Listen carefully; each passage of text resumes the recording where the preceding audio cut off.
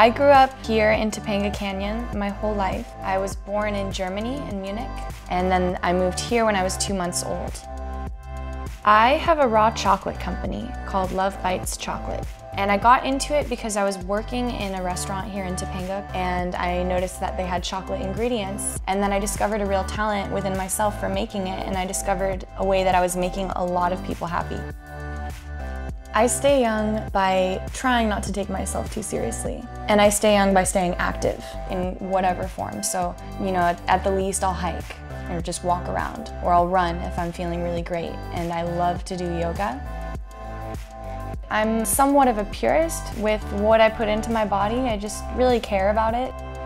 Beauty's not hiding, it's being open and sticking your chest out and opening your heart out.